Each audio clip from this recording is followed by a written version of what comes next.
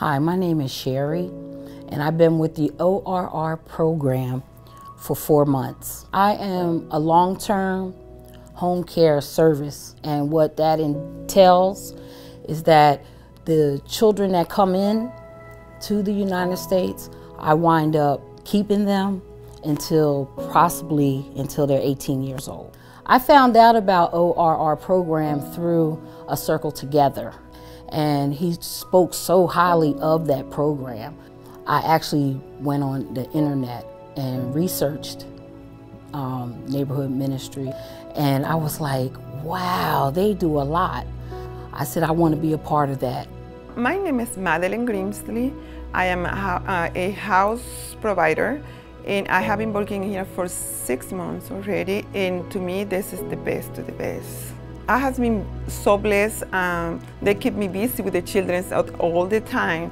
So every day I see the, the changes that they have in the way they, when they came from, from immigration and when they go to, to their sponsor, mom, dad, or uncle, or whatever they go, it's a big difference because I can see the hope that the children take with them because when they get here, they, they are completely broken. And all the stuff is because the whole team that we have, uh, we support each other, and I think this is very important. It's very rewarding to have children into your home, and you're like, you're their mom, you know, or aunt. And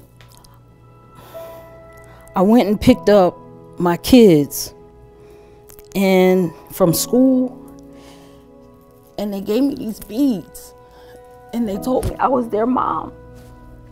And it just it felt good. It felt good to be able to touch a kid.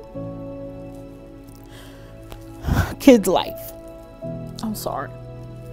The most important thing is uh, I see the team we have a big, big team in here. Whenever uh, you need something, uh, even it doesn't matter if it's midnight, it's six in the morning, you have the people supporting you, like the people from um, the medical medical department, uh, uh Denise, Hael, Mr. Um, Benny, everybody is a team. I haven't seen anybody to, when I call to say, no, no, we cannot help you, they always, normally they always have the solution for you, so this is very rewarding.